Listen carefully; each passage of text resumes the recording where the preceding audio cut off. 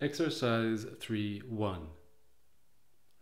Hold the baqueta, this little stick, drumstick like. That means the thumb on top, two fingers, the index and the middle finger at the bottom.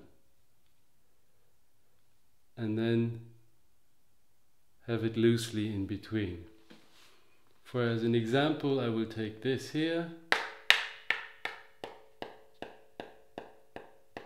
Now go around and just try hitting different surfaces in your room.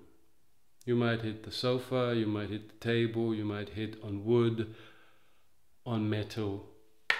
Yeah, just to get a feel for how to hold it drumstick like.